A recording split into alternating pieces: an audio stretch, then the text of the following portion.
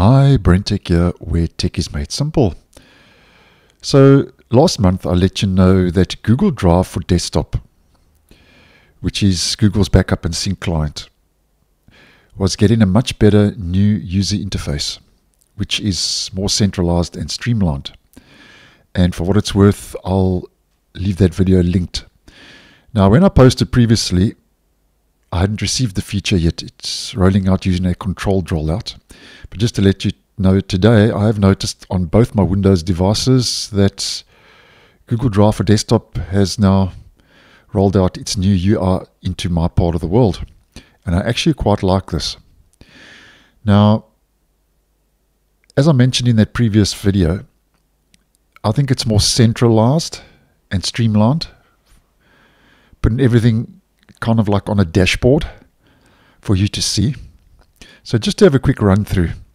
First of all, our settings when it comes to preferences and offline files, error list, and so on is unchanged.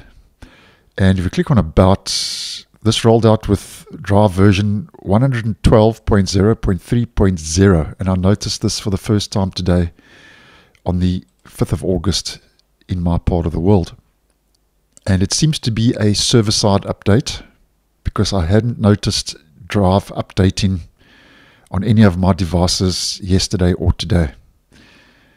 And then here at the top, we've got a nice big search in Drive. So you can search through your Drive. You can open your Drive folder. You've got your home. You've got your sync activity up to date. I quite like this. That's all up to date. And obviously, if you are syncing anything, it'll show you the relevant details on this page. And then you've got your notifications.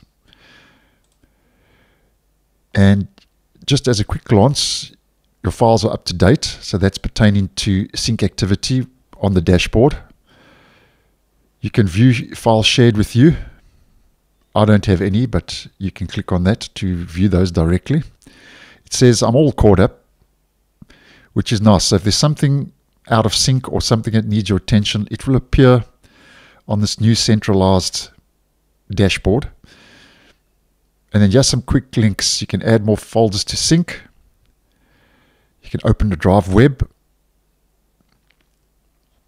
Learn more about offline files and you can see frequently asked questions. So, and then yeah, right at the top, you can pause syncing.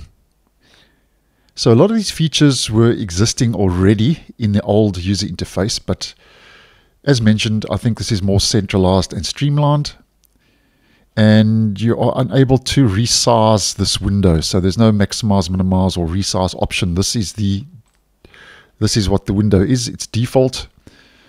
So just making you guys aware of it if you are using Google Drive for desktop, that this is becoming more widely available. So just wanted to put it out there to keep you guys posted. So thanks for watching, and I'll see you in the next one.